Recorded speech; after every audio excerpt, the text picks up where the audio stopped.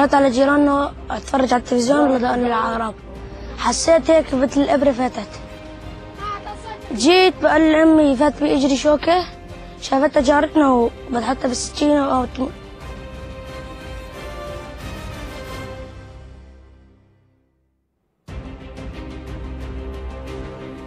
أو أهلا وسهلا بكم مشاهدينا إلى حلقة جديدة من برنامجكم الليلة. الليلة سيقدم لكم كل ما يهمكم من أخبار إنسانية، ما وراء كل خبر سياسي، ما وراء كل تطور جديد في منطقتنا على المستوى العربي وكذلك العالمي. الإنسان اولا ومع كل حدث نعيشه، فاهلا بكم.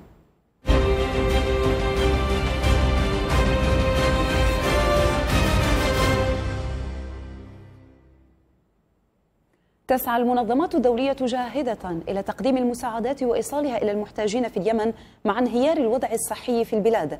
في هذا الصدد ستدشن منظمة الصحة العالمية استراتيجية جديدة تهدف إلى وقف انتقال الكوليرا بحلول سنة 2030 تأتي الاستراتيجية الجديدة في وقت تتفشى الكوليرا بين اليمنيين بشكل لم يسبق له مثيل حيث يشتبه في إصابة نحو 700 ألف شخص حتى الآن مع غياب الدور الصحي بسبب انهيار المستشفيات وشح المواد الطبية. من اليمن إلى ميانمار فقد شهدت أزمة الروهينجا أحداث وتطورات جديدة على المستوى الإنساني. ازداد عدد المسلمين الذين فروا إلى بنغلاديش هربا من جرائم الإبادة إلى 421 ألفا وفق منظمة الهجرة الدولية. في حين طلب رئيس فريق التحقيق الأممي في أعمال العنف في ميانمار مزيدا من الوقت للتحقيق في مزاعم القتل الجماعي بينما دعت منظمة أطباء بلا حدود حكومة ميانمار السماح للمنظمات بالوصول الفوري إلى ولاية رخين لتخفيف ما وصفته بالاحتجاجات الإنسانية. أخيرا أعلنت أونغ سان سوتشي أن بلادها مستعدة لتنظيم عودة اللاجئين وبدء التحقيق في هوية اللاجئين.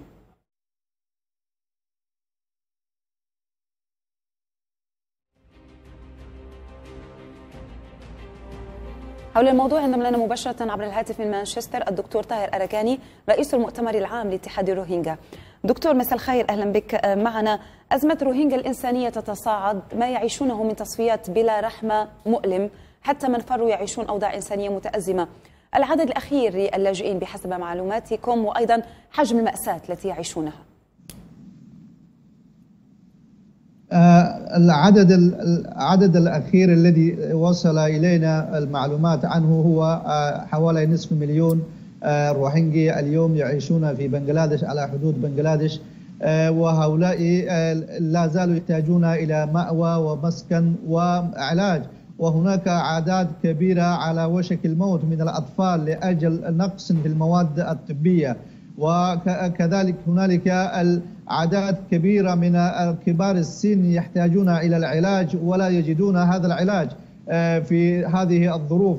وهنالك مجموعة كبيرة من اللاجئين يتعرضون لأمراض مختلفة في بيئة في بنغلاديش لأنهم يعيشون دون سقف أو تحت السماء أو فوق الأرض ويتعرضون لكل الأمراض والأوبئة في تلك المنطقة. يحتاج إلى تحرك المنظمات الإنسانية والمنظمات الصحية. وبدون هذا ربما كثير منهم يتعرضون للموت قبل أن يعادوا إلى وطنهم من جديد. نعم، طيب دوركم أنتم في المؤتمر العام لاتحاد الروهينجا اتصالاتكم ربما مع الدول المانحة مع الجهات التي يمكن أن تقدم مساعدات لهؤلاء اللاجئين الذين يعيشون هذا الوضع الإنساني المتأزم الذي ذكرته حتى انه ربما حالة الطوارئ الإنسانية الآن تم إعلانها في بنغلاديش بسبب ذلك. ولا شك نحن بدورنا نتواصل مع أغلب المنظمات الدولية والمحلية والإقليمية لأجل تقديم المساعدات وقد قد وقد جاءت كثير منها ولبت نداءاتنا في تلك المنطقة. ولا زال يعني احتياجات كبيرة جدا لا تغطي المساعدات الموجودة المقدمة لهؤلاء لأن العدد كما يعني ذكرنا قرابة نصف مليون عدد لا يم هؤلاء العدد ليس لديهم أدنى شيء يمتلكونه للعيش ولا لمدة يوم واحد. ولذلك يحتاج إلى وقفة الجميع بالذات المنظمات الدولية ومنظمات الأغاثية التابعة للأمم المتحدة وكذلك منظمات الإنسانية الخيرية والجمعيات الخيرية في دول الإسلامية بحاجة أن تتحرك سريعا لأجل إنقاذ أرواح هؤلاء الناس الذين لجأوا إلى بنغلاديش وهم في وضع يرثى. نعم. طيب بحسب التوثيقات من على الأرض من بنغلاديش من وضع اللاجئين هناك بحسب ما يصلكم من معلومات من هناك يعني بحسب الأولوية أبرز ما يحتاجونه. يعني حتى في حالة المساعدات التي يجب أن تصلهم يعني ربما الأصعدة التي تختلف فيها المساعدات هل هي القطاع الصحي هل الغذاء ماذا بالتحديد؟ ماذا يحتاجون؟ وضع الأطفال خاصة وكبار السن. نعم. المواد الطبية والمواد الغذائية كلاهما مطلوبة عاجلا لأن الناس لا يعني كبار السن الذين جاءوا وكذلك الأطفال الذين جاءوا لديهم أمراض ويتعرضون لمزيد من الأمراض في نفس المكان نفس البيئة وبسبب عدم وجود بيئة مناسبة للعيش الإنساني في تلك المنطقة. فبالتالي مواد طبية مطلوبة عاجلة وكذلك مواد غذائية الموجودة غير كافية بحاجة إلى مزيد من المواد الغذائية حتى لا يتعرضوا للموت بسبب الجوع وبسبب نقص من المواد الطبية العاجلة. شكرا لك على هذه المداخلة معنا الدكتور طاهر أركاني رئيس المؤتمر العام لاتحاد الروهينجا. كنت معنا عبر الهاتف من مانشستر أو عبر سكايب. تلفزيون الآن سلط الضوء أكثر على معاناة روهينجا قابل إحدى اللاجئات اللواتي هربن إلى بنغلاديش. روت الكثير من المآسي التي مرت بها وبعائلتها على يد الجيش البورمي. نتابع أنا أنا دولي بازارور وطرور كنت أعيش مع زوجي وأطفالي في منطقة بازار شمال بولي من ولاية راخين. تعرضنا للعنف في فترات متقطعة لكن المرة الأخيرة كانت قبل شهر.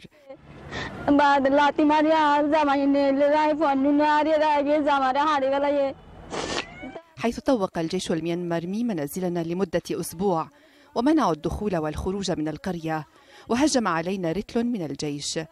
لم يتحدثوا معنا بشيء بل بدأ بعض منهم يدمرون البيوت بأيديهم والبعض الآخر أشعلوا النيران فيها. كان هناك بيت لجدتي. بيتها من ضمن البيوت التي تم إحراقها من قبل الجيش. لم نتمكن من الفرار إلى أن أتت النيران على جميع جوانب البيت فماتت فيه. ثلاثة من أفراد الجيش دخلوا غرفة نومي حيث كان زوجي مختبئا فأشبعوه ضربا ثم شقوا رأسه بفأس كبير ففارق الحياة أمام أعيننا. غير بعيد عن منازلنا. اغتصبوا عددا كبيرا من الفتيات وكان الجميع يتحدث عن أصناف مختلفة من التعذيب يقومون بقتل الشباب خاصة ثم يلقوهم في النهر وبعدها يغتصب الفتيات والنساء. هربت مع أطفالي بصحبة ثلاثين شخصا آخرا. اختبأنا في الغابات ليومين بلا طعام ولا شراب حيث تم إحراق كل ممتلكاتنا في القرية وكنا نتناول أوراق الأشجار. كنا ننتقل من قرية إلى قرية حفاة ومشيا على الأقدام.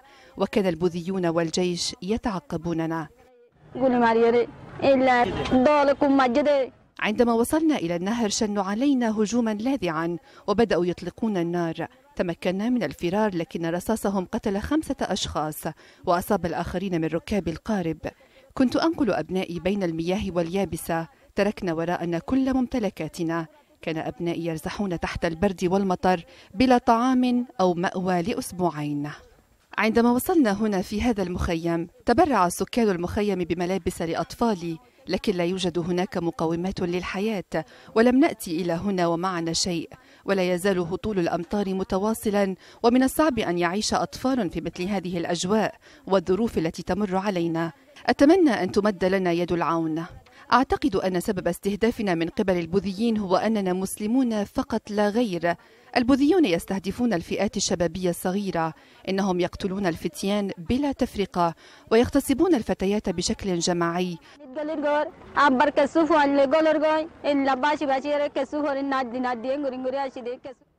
في سوريا وعلى إثر المعارك الجارية حول مدينة دير الزور تخيم حالة من القلق بسبب ما قد تخلفه آلة الحرب ضد المدنيين العزل خاصة المحاصرين من قبل تنظيم داعش. هذا القلق دفع الأمم المتحدة إلى توجيه دعوة لجميع الأطراف السورية من أجل ضمان حماية المدنيين من آثار العنف.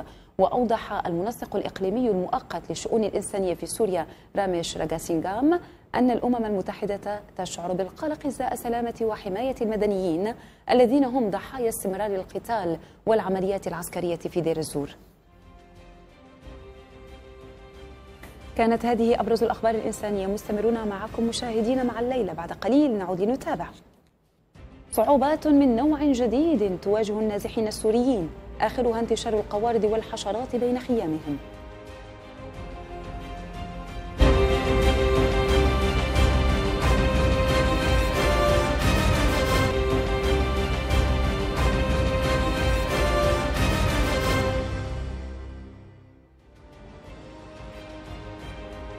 أهلا بكم من جديد. بعد موجات النزوح التي اجتاحت مناطق سورية عدة توجه النازحون إلى الخيام هاربين من قصف يطالهم من جهات عدة لتواجههم صعوبات جديدة.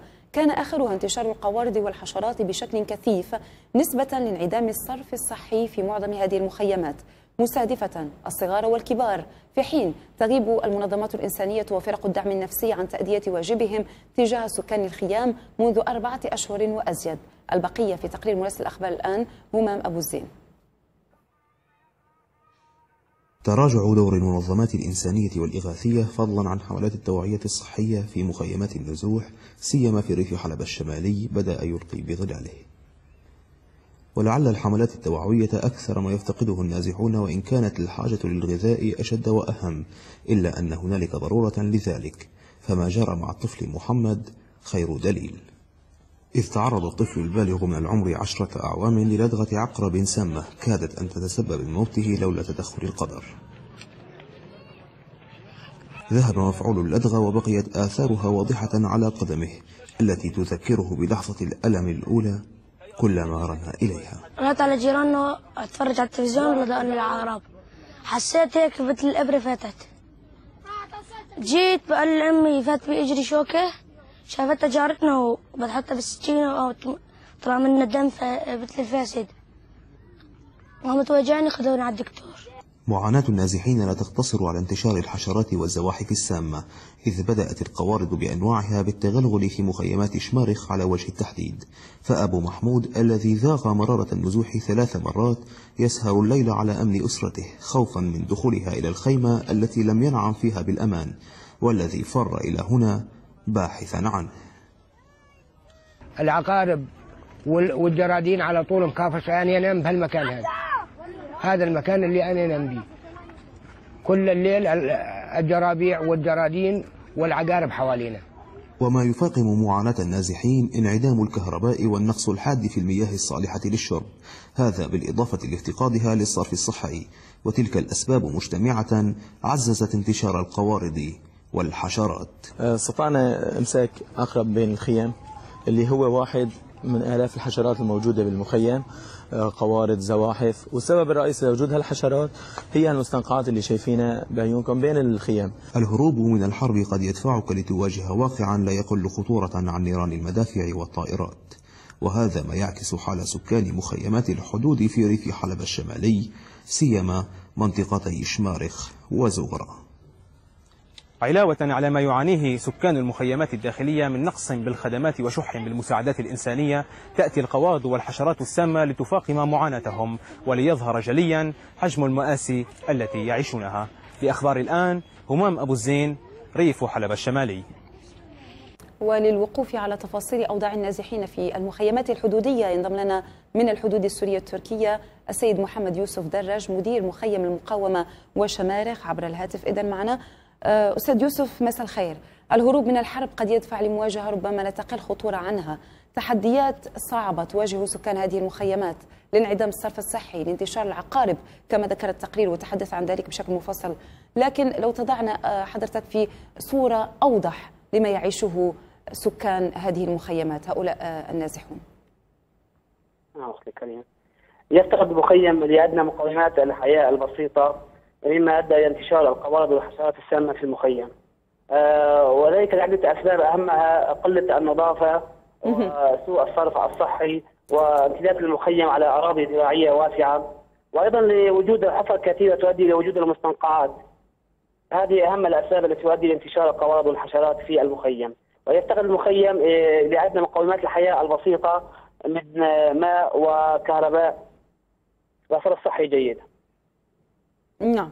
طيب آه، تقرير ذكر بأن المنظمات الإنسانية تغيب عن هذا المخيم. يعني لماذا تغيب عن هذا المخيم إلى هذه الدرجة؟ متى كانت آخر مرة آه، يعني ربما كان هناك تواجد للمنظمات الإنسانية والإغاثية في هذا المخيم؟ أختي الكريمه في الفترة الأخيرة عزفت معظم المنظمات عن نعم. آه، تقديم الخدمات. في الأخيرة معظم المنظمات لم تقدم الخدمات اللازمة لمخيم المقاومة وذلك لكبر المخيم حيث يحوي المخيم على أكثر من 27 ألف نسمة.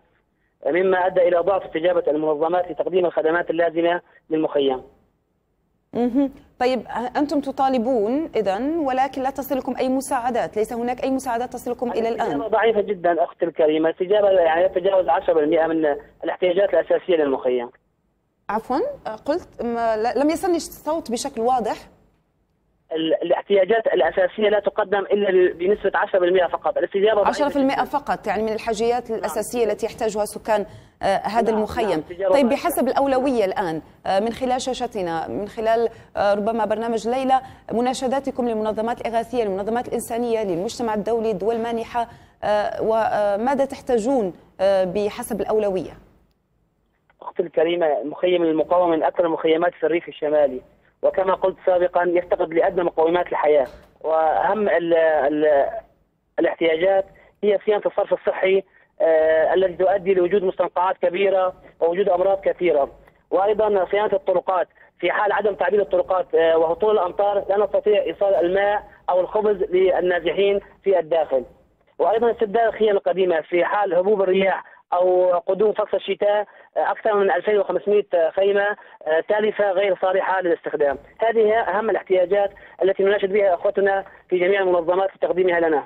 نعم طيب العقارب القوارض أيضا آه، يعني لم يفلت منها آه، سكان هذا المخيم مع الحاجيات التي يحتاجونها مع افتقارهم لأبسط الحاجيات اليومية مع هروبهم من الحرب كيف تتعاملون نعم. مع يعني العقارب مع القوارض وأيضا ربما إذا كانت لديك القصص الإنسانية المؤلمة التي آه، يعني تم آه، ربما آه، عشتها معهم في هذا الصدد أختي الكريمة نحن يوجد لدينا نقطة طبية وحيدة في المخيم وتعمل بدوام إداري.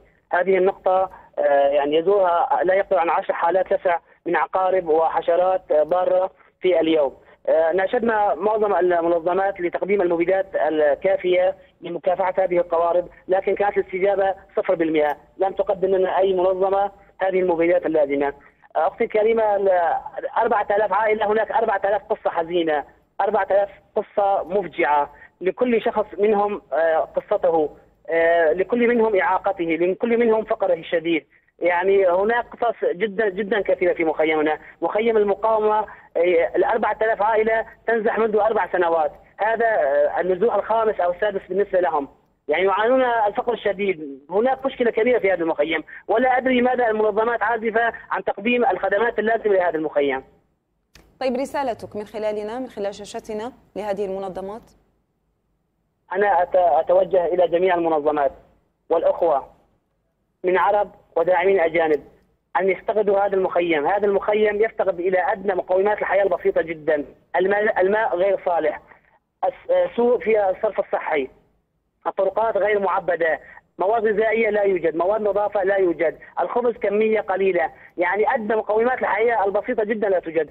فأبعث رسالة من- من خلال شاشتكم الكريمة. إلى كل إنسان فيه ذرة ضمير فيه ذرة كرامة على أخوته أن يقدم الدعم الذي يستطيع له لهذا المخيم.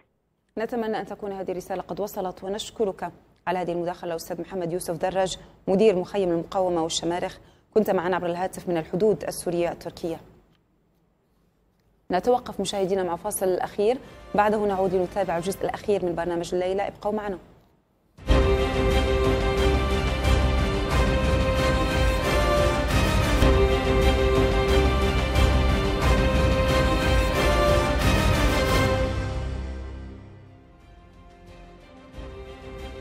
أكثر من 328 مليون مشاهدة على تويتر حول العالم لمليونية العطاء. وبالعربي تصدر إذا هاشتاغ مليونية العطاء ترند الإمارات. بأكثر من 328 مليون مشاهدة حول العالم على موقع تويتر. صحفيون وكتاب إماراتيون قالوا إن عام 2018 الذي أطلق عليه عام زايد سيمثل مليونية عطاء وسعادة لدولة الإمارات والشعب الإماراتي. جاء ذلك بعد إطلاق مبادرة بالعربي إحدى مبادرات مؤسسة محمد بن راشد المكتوم للمعرفة وبالتعاون مع البرنامج الوطني للسعادة والإيجابية. حلقة نقاشية إلكترونية كانت على تويتر بعنوان العطاء سعادة وانهمرت التغريدات من شتى الأرجاء عبر هاشتاغ مليونية العطاء وبالعربي. وتحفز هذه المبادرة على المشاركة الجماعية عبر منصات التواصل الاجتماعي لتعزيز العمل الخيري في صفوف المجتمع. واسم مليونية العطاء لقى تفاعلا كبيرا على مستوى دولة الإمارات ونحن بدورنا اخترنا لكم بعض الآراء والتغريدات حول هذا الوسم حساب شرطة دبي.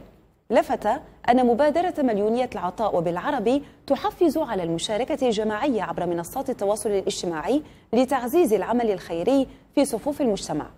حساب فرسان الإمارات أوضح ومن خلال تغريدة أن مليونية العطاء مناسبة ومناسبة للتأكيد على العطاء الإماراتي الذي أضحى نموذجا يحتذى به في مجال المساعدات الإنسانية وتقديم العون لكل محتاج.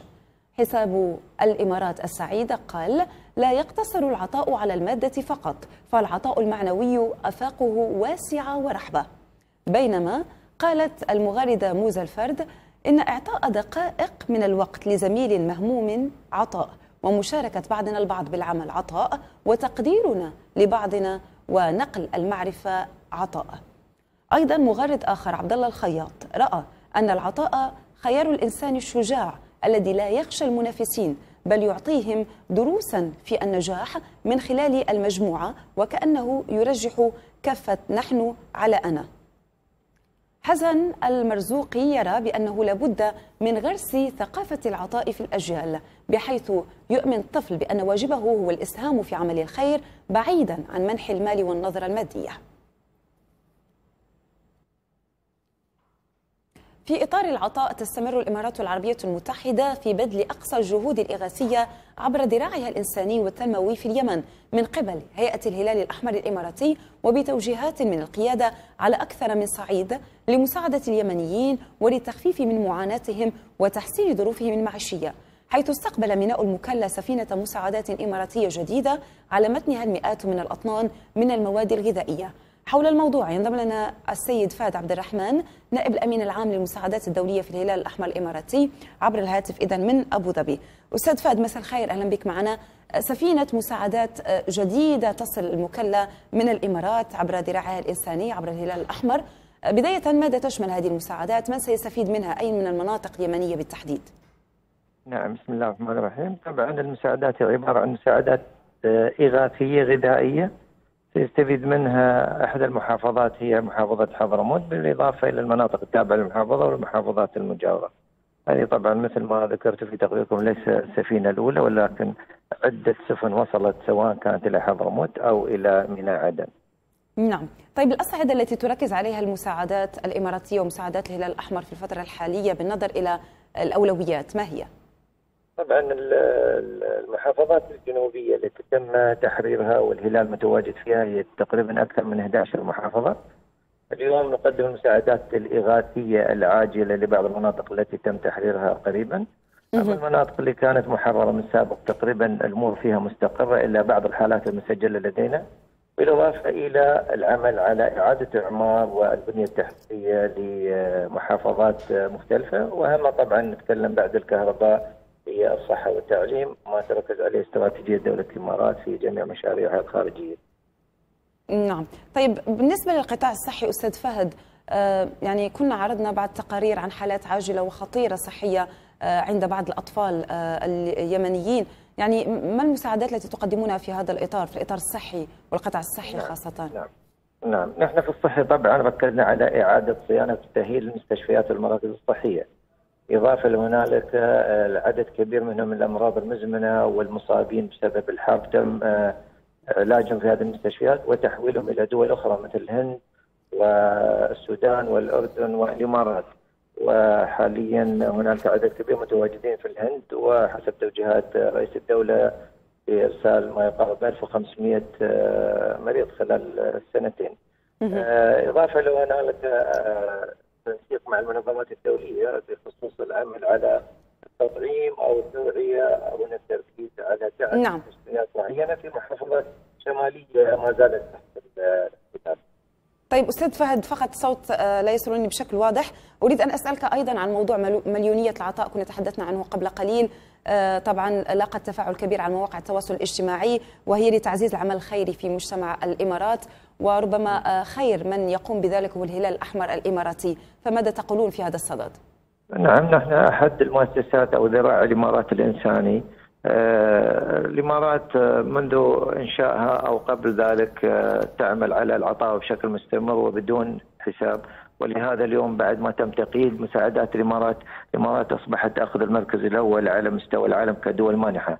الشعب الاماراتي شعب عطاش قيادة الإمارات وشيوخها ومقيمينها من مواطنين ومقيمين دائما آه، يعملون ويجتهدون والتنافس في العطاء فهذا ليس بغريب على أهل الإمارات ومستمرين في العطاء صحيح أن هذا عام الخير وسنقادم إن شاء الله عام زايد ولكن الإمارات مستمرة بعطائها ودعم جميع آه، الإنسانية. نعم شكرا لك جزيلا. الأستاذ فهد عبد الرحمن نائب أمين العام للمساعدات الدولية في الهلال الأحمر الإماراتي. كنت معنا عبر الهاتف من أبو ظبي. أذكركم مشاهدينا أنه بإمكانكم التفاعل معنا دائما عبر صفحتي الشخصية على موقع تويتر وأيضا صفحة أخبار الآن على مواقع التواصل الاجتماعي. سأطرح يوميا موضوعا عبر التويتر. تفاعلوا معنا وسننقل تغريداتكم على الشاشة. بهذا نصل معكم إلى ختام حلقة الليلة. مستمرون معكم عبر منصاتنا على مواقع التواصل الاجتماعي ودائما تابعوا بثنا مباشر على اليوتيوب وتواصلوا معنا لأي قضايا إنسانية تهمكم. سنطرحها وسنتابعها معكم. تصبحون على خير.